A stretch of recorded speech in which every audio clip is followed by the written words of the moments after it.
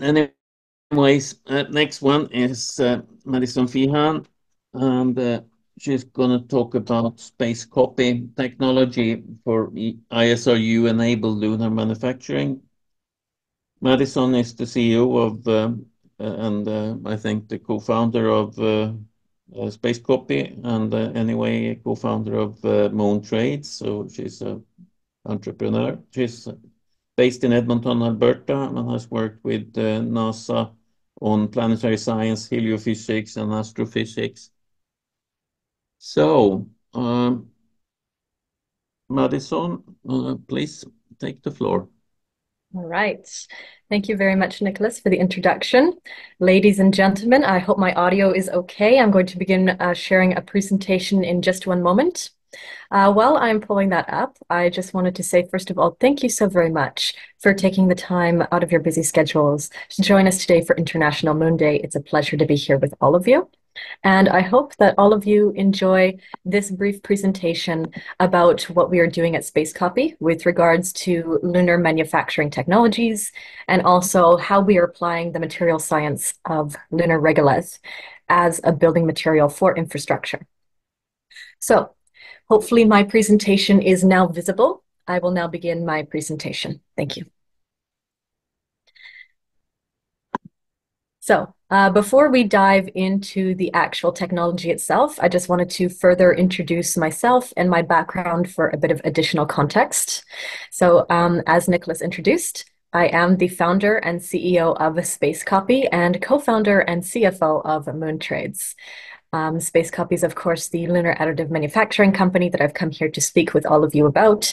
And Moon Trades is a STEM education platform and lunar mining robotics uh, startup industry that is based in United States, Europe, and Canada. Uh, in addition, my background does come from a few years' experience at NASA's uh, NRES division, where we've studied um, numerous different things. Um, my main focus was in infrared spectroscopy methodology for in situ resource applications. Uh, I also serve as a subcommittee advisor to the United Nations Committee on Peaceful Use of Outer Space and as the region chair of space technology and aviation for the province of Alberta, Canada, where I call home. Uh, of course, yes, I am an entrepreneur. My background is in commerce. I do a lot of lobbying for the National Small Business Association when it comes to promoting STEM industry, being a greater part of both the national economy in the United States and the global economy of the world. And I'm excited to share with you all some of the exciting research that we have developed at Space Copy. So first and foremost, let me introduce to you the concept of lunar manufacturing. In essence, lunar manufacturing is the usability of space resources or in situ resource utilization, and the roles of additive manufacturing for lunar infrastructure and colonization efforts encompass how technologies like 3D printing and other additive methods of 3D printing are able to create infrastructure, precision tooling, and repair parts, and so much more using the resources that are locally available, mainly lunar soil or regolith. Um, first, I would like to speak about the value of space resources. Space resources themselves are unique, offering supply chain management and infrastructure development through usability of local resources, you're enabled to be able to extract them for manufacturing, life support systems, and all basic systems that encompass colonizing on the lunar surface. In particular, some of the earlier stage technologies that are being sincerely and severely looked at for projects like Artemis revolve around four main criteria in situ construction, mining, agriculture, and clean energy. Being able to industrialize all four of these sectors within the space industry is pivotal to us being able to colonize space for a long term basis. And in doing so, it is absolutely essential to be able to understand the compositional structure and capabilities of regolith as a building material and as a material for numerous different applications outlined herein. Uh, first, I will speak on composition. So, generally speaking, and of course, this does depend on location, be it highlands or mare, regolith tends to have very high concentrations of uh, oxides, which can be, of course, converted into oxygen upon uh, heat treatment. It also has very high ratios of silicon oxide and aluminum oxide. These rich resources within the regolith, along with trace amounts of uh, helium-3, iron, volatile organic compounds, and many more, are able to be encompassed within the particulate which causes regolith to have a very vermicular shape or an angular and abrasive shape with customizable, uh, customizable particle size distribution. What this means is because of the mineralogy of regolith, it bears a very similar composition to ceramics. That being stated, despite the fact that the particles do not achieve roundness, we are able to actually beneficiate or process this regolith and transform it into a material that is more better enabled for lunar construction. Additive manufacturing, in its capabilities for space, has over 35 years of research spanning more than 12 different methods of 3D printings for specific applications in aerospace and defense, such as sintering, melting, extrusion, deposition, resin casting, and more. The production of precision tools, repair parts, interlocking bricks for habitats and roadways, berms, trusses, and other items using in situ resource utilization is very, very important to the lunar economy, and I will explain why. Not only from a scientific perspective, but also from the perspective of economics. The cost of sending a payload to space is currently equated at 1.2 million US dollars per kilogram of supplies. It is estimated that in order to be able to sustain astronauts on the lunar surface for one year, and um, assuming that we do end up sending crews in increments of four, as outlined by Artemis, that requires an upwards of 22,000 kilograms of supplies delivered per annum. That factor of 22,000 kilograms multiplied by the $1.2 million per kilogram price tag of sending supplies to space means that we will spend over $6 billion trying to keep humans on the moon for one year alone. And that's assuming that nothing goes wrong. And that does not even start to equate things like what technology needs to be set up before they get there, what uh, funding is being placed in order to actually get them from Earth to space. These things take time, they take money, and ultimately, in situ resource utilization is a capable way of actually reducing that cost factor of up to 70% when it comes to resupply payloads. That being stated, the technology does have its challenges. Uh, reduced gravity down to one sixth, temperature gradient extremes as low as around negative 125 degrees Celsius, in those non-permanently shadowed regions of the lunar south pole, as well as radiation exposure from solar flares and dust mitigation from electrostatically charged particles remain prevalent uh, inhibitants when it comes to being able to develop hardware technology for space, and more specifically, when it comes to developing additive manufacturing technology for space. It is essential to be able to overcome these technical difficulties. About Space Copy, we are a startup company based in the United States and Canada, developing 3D printing systems to create infrastructure in extreme environments, both on Earth and in space, using in situ resources as feedstock. For our terrestrial applications on Earth, what we mainly do is take uh, regular materials such as soil or sand and convert it into a feedstock through a beneficiation process that involves crushing, mixing, sieving, and vibrationally separating particles in order to create a high durability feedstock with a particle size distribution of no more than 50 microns. In space, we replicate this technology. Instead, we enhance it by also including the use of an in vacuum system, swapping out the need for inert gas for laser powder bed fusion technologies, and also maintaining a constant internal temperature, pressure, an ambient state within the 3D printer, regardless of what 3D printing method is being implemented, which is essential when it comes to manufacturing in reduced gravity environments and atmospheres that do not exist, such as on the lunar surface. The goals here, not just from an economic benefit, but to also advance ISAM, or in space assembly and manufacturing research and development, prioritizing the expansion of scalable infrastructure for Earth, Moon, and Mars, and accelerating ongoing efforts for the emerging commercial space industry. This vision is not only important to us as a company, but to each individual member of our team, being able to contribute to this industry and give some meaning back into how we're applying the science, how we're looking at the materials that are being encompassed into in situ resource utilization and utilizing them for something tangible and important is absolutely a priority when it comes to being able to explain the value proposition of why 3D printing in space is now coming to a fruition. Um, speaking now to lunar additive manufacturing at a glance, first I want to debate some of the geotechnical properties of lunar regolith, uh, specifically from Apollo 16 and 17. Uh, Apollo 16 and 17 regolith, which was more of an equatorial regolith recovered during the Apollo era, was found to have a very high content of silicon oxide with trace amounts of metal content. This mineralogy bears similar geotechnical properties to what Chandrayaan 3 was able to recover in its surveying uh, last year when it was deployed to the South Pole's surface. Specifically, the fine particles of silicates, including basaltic material and glassy volcanic debris, allows for that composition again to bear very similar properties to ceramics. Predominantly fine grains with varying size up to a few millimeters on topsoil allows for suitable processes and breakdowns of the material with very little interference, with density ranging from around 1.2 to 1.9 grams per centimeter cubed, varying with depth, of course, and location. Porosity in regolith is high in this region due to irregular packing of particles averaging around 40 to 50% with a generally low permeability with um, limited ability to retain water, vapor, or gases.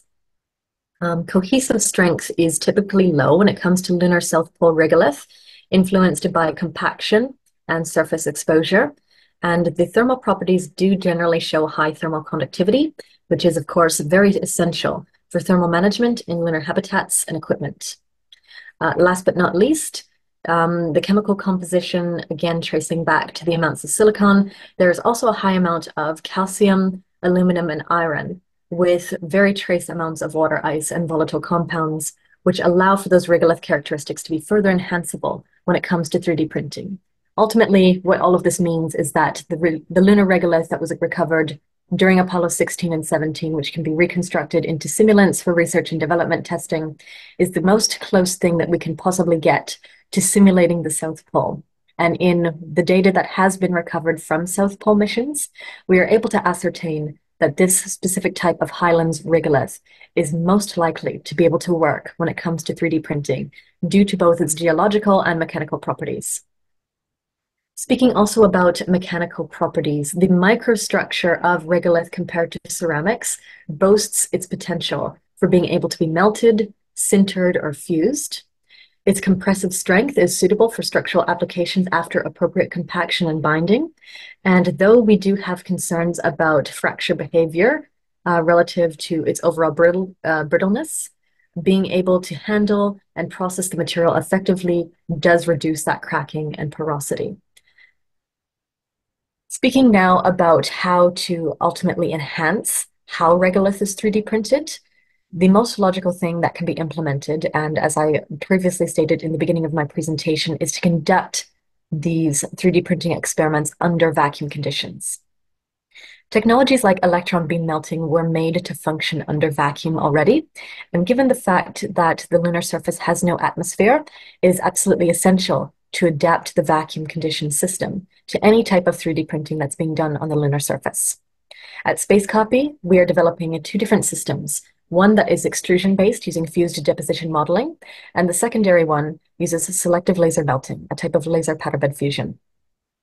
While these processes would generally use oxygen or inert gas to be able to control printer functions, reducing the Earth dependency by actually enabling a vacuum system not only ex uh, offsets external conditions of space, but improves process parameters and reduces the overall cracking, porosity, and dust that is being adhered to throughout the optics and other vital factors inside the 3D printer causing there to be less dust buildup and a longer lifespan of equipment with more dense and durable parts.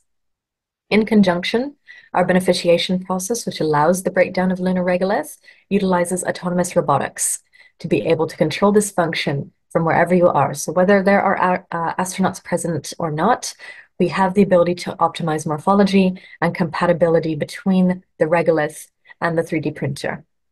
Last but not least, while this beneficiation process is occurring, we utilize Raman spectroscopy to be able to determine mineralogy and further compositional structures of the lunar materials to see what process parameters that we can further enhance within the 3D printer before we reach the printing and cooling stage. All of this is technology is absolutely essential to be able to develop a hardware piece that can function on the lunar surface, namely because of the fact that we are working in such a challenging environment and the conditions are so, so abrasive. What you can see here on the screen is not only a render of the 3D printing technology that we are actively prototyping, but at the bottom, you can see some pictures uh, generated to show you some of the lab experiments that we have done with various different Regolith simulants, having 99.9% accuracy to those Apollo samples that I have mentioned.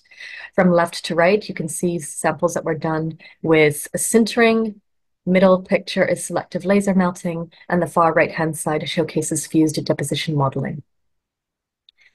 Uh, again, the closed purpose, uh, the purpose for closed vacuum manufacturing in space has to do with how sealed chambers are able to maintain low pressure conditions to prevent external contamination from the factors of what is going on in space.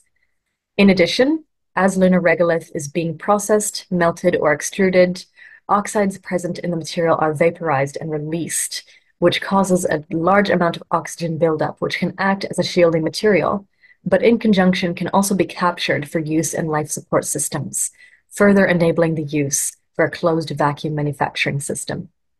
In addition, collection mechanisms, uh, such as uh, condenser plates and traps, are strategically placed within the chamber to be able to capture and accumulate the condensed oxide particles, which further inhibits the use of the vacuum system, allowing the system itself to function with absolute clarity. Um, going back to regolith now as a structural material. Um, the varying particle size distribution and abrasive shape of the lunar highlands regolith enables the need for consistent interaction of rotation, translation, and inversion during the beneficiation stage of processing regolith in order to create a feedstock viable for additive manufacturing of complex geometries. This can be accomplished through processes like dual centrifugal mixing, as well as vibrational separation to reduce electrostatic charge. The beneficiation of cobbles and loose soil would undergo three-dimensional motion, inducing constantly changing and rhythmically pulsing states in the mixed material. This process yields high-quality mixing results, meeting the most stringent requirements coupled with speed to offset gravitational distortion in these microgravity or reduced gravity environments. In addition, Space Copy's utilizing this pre-processing equipment in order to produce a powder that is more homogeneous, and I speak to the term homogenous with uh, a bit of a caveat. Being able to specifically identify weights and particle sizes allows you to be able to create a feedstock that is durable and is more likely to work.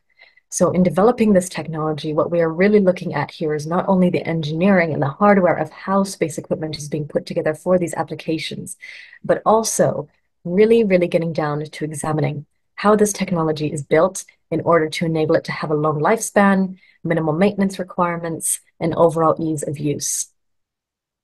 Speaking about the lunar economy as an early market opportunity, which of course as an entrepreneur is vital, the space economy has a current value of 464 billion US dollars, which is slated to increase up to 1.8 trillion dollars by 2040. In lunar manufacturing alone, we are slated to increase to a total addressable market of 7.5 billion US dollars per annum. And given the fact that, as mentioned before, lunar manufacturing is capable of reducing Earth to moon supply dependency by up to 70% using infrastructure built from in situ resources, allows us to really, really recognize how the lunar economy is now becoming the most fast paced, growth induced economic market since the dot com bubble. I want to pause for a moment and really just inhibit this one particular phrase into everybody's mind. If there's one key takeaway from today's discussion, I want everybody here to know that additive manufacturing allows for sustainable use of local resources for rapid prototyping in extreme environments. This phrase is so important to understanding how 3D printing is able to manifest itself in space how we are able to use these local resources for rapid prototyping, and how, in conjunction with the technology that we're sending up to the lunar surface, we're able to apply the same technology benefits down here on Earth to serve as combat zones for defense, natural disaster response areas, indigenous communities, and extreme environments, including subsea, Arctic, and desert, areas where you could not get standard infrastructure delivered. Speaking about us as a company, Space Copy is in its research and development process, and we aim to have a commercial prototype available for use in terrestrial environments as early as the end of 2025, with launch into space as early as 2028, and subsequent full-scale development well through the 2030s, with the goal of eventually having one of our 3D printers being put onto Mars for enabled construction for human colonization. Speaking about the challenges, processes, and applications, though I will not spend too much time on this, I do want to note that the enviro uh, environmental conditions of space, radiation exposure, thermal gradients causing temperature extremes, dust mitigation, and reduced gravity pose as severe challenges.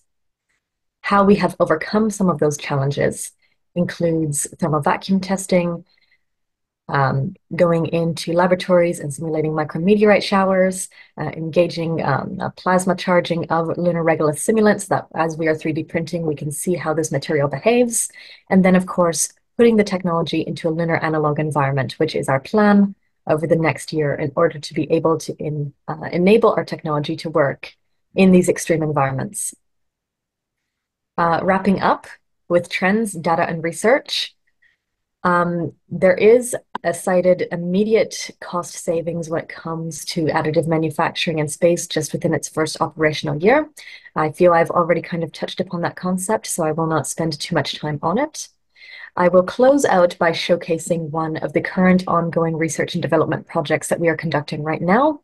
This is the beneficiation or high-speed dual centrifugal mixing of lunar regolith simulant that we are conducting to not only enhance the properties of that beneficiated regolith to have a finer particle size distribution for easier enabled additive manufacturing, but as part of our patent protected in situ material processing mechanism, we are analyzing how this type of mixing works in order to, um, to not only shape the particles to be less abrasive and more round, but also allow them to break down enhance their mechanical properties and see what kind of binding agents we can further use to enhance the uh, density and compaction in between layers when conducting 3D printing using this specific type of regolith. Further investigation, um, led by our team, will now take this regolith simulant, conduct various different 3D printing, ranging from bricks, tiles, more complex geometries like precision tooling and cylindrical parts, which will then be put under mechanical and structural testing ahead of full-scale prototype development. Our future initiatives, of course, are quite broad, but we cannot do it alone. We do need the support of the entire space community behind us. We are currently working with NASA to enable this technology to come to life, but we are actively seeking partnerships, collaborations, and the advice of the space community, especially with regards to material science and 3D printing being able to enable this closed-looped economy for in-situ resource utilization comes back to our vision of transforming human exploration methods. And I invite everybody here today to please be a part of that initiative and reach out to us if you have any further inquiries. So again, if you want to make contact with us, my email is here on the screen. You can also visit us at spacecopy.com or scan this QR code to learn more. Again, thank you to the Lunar Development Conference for hosting me today and happy International Moon Day. Thank you, Madison, uh, for a very uh, interesting presentation and uh, congratulations to uh, uh, the progress so far. Thank you. Uh, we have um, at least one question here from Marufa, and that is, what is the budget for this project? Yes, I will ask this just to introduce myself. Hi, nice to meet you. Um, we are LinkedIn friends for a while. This is my logo in the background, kind of like showing my existence. so, I, because I'm also an entrepreneur, founder and CEO of Everest Innovation Lab in Hawaii. So I, I'm curious about the budget, the scale of budget, because NASA talks about million billion dollars and as an entrepreneur so what is your experience about budget about your projects and thank you well, thank you so very much for your question and pleasure to meet you here virtually. Um, to speak about the budgeting, and this is something that I say is a little bit difficult to ascertain. We did, as a company, close out on a pre-seed round of $150,000 last year just to enable the early-stage research and development. But of course, we realized that projects like this, sending a 3D printer to the moon is going to be quite cost-heavy. For our terrestrial applications of just getting this 3D printer built and sent out to an extreme environment here on Earth, such as the desert or the Arctic, we are budgeting $3 million to be able to build that prototype and send it out. Uh, we will be raising that seed round starting at the end of this year. Uh, to be able to send the technology to space, though, we do realize that prototyping costs are going to increase significantly. So we are budgeting around $10 million to be able to get a very basic prototype built out and sent to the International Space Station, uh, with the lunar launch cost being probably double that um, number. So we do necess uh, necessitate that we will need to rely on government funding and non-dilutive opportunities in order to get us across that finish line, which is why we're pleased to be working with the government in its capacities. But also, I do believe that even, especially as an entrepreneur, this allows us to actually kind of manifest where space funding is going, taking a good look at the economy and seeing uh, what can we do to have um, a dual use technology that is enabled here on Earth that will further support the use case of going to space so that when it comes to building out these really complex technologies, we as entrepreneurs are able to better seek investor funding by being able to prove out these concepts. So long story short, I'm looking at that budget of 3 million to send something uh, just out here on Earth and at least 10 million to get us to the International Space Station with lunar launch costs being, of course, higher than that. But collaboration between government and being able to really communicate your value proposition as an entrepreneur, I'm sure will be able to help us not only raise those funds, but also to try and break down some barriers for other space entrepreneurs to enter into this arena. Yes, uh, I would be interested in partnership. Um, do you have uh, like a la laboratory in US or somewhere? We do a great deal of our research and development out of various different laboratories, none that we specifically call, call our own, but we work at a various uh, academic institutions and also a private laboratory in um, Florida. So if you are interested in, again, collaboration, partnership opportunities, I'm always happy to facilitate that discussion. I encourage you to reach out to me or visit spacecopy.com. We have a form you can fill in for that kind of interest. And happy to have that conversation. We have various different R&D projects when it comes to working with regolith or 3D printing or just throwing micrometeorites at bricks and seeing if they break apart. So again, lots of exciting stuff going on here, but thank you so much for your question. You're welcome. Thanks. Thank you so much. I, I had I had one question as well, actually, and that, that's you mentioned you needed to maintain low pressure for, for the process. Uh, why do you need pressure? Well, of course, this depends a little bit, I should say, on the application. Uh, specifically for subsea applications, being able to maintain low pressure allows the system to be able to better calibrate when you're adjusting to different environments. Uh, maybe so for the space application, it's not quite as relevant, but being able to maintain an internal vacuum system that is maintaining um, temperature, it's maintaining, I, I suppose it is somewhat maintaining the pressure of the system, being able to keep that constant allows for not only, if we're speaking about laser powder bed fusion, allows not only for the material not to rise up, the particulate not to start floating around, but it also allows um, for the context of extrusion-based technology for the nozzle of the 3D printer that's actually extruding out the filament to not get super clogged up when it comes to doing those different kinds of 3D printing experiments. So it is a little bit challenging to understand. However, pressure, temperature, and reduced gravity conditions are the basic three factors that allow the flowability of the filament to extrude out smoothly. So being able to maintain somewhat of a consistency through a vacuum system is how we've best been able to kind of develop a concept that's going to mitigate that challenge. Okay, uh, sounds good. Um, thank you. And that that was the uh, make timer. Now uh, the the next speaker might be a bit uh, lenient on on time because that's me, but I, I think that's a good way to break anyway. So thank you a lot for an interesting presentation and good luck. Thank you very much.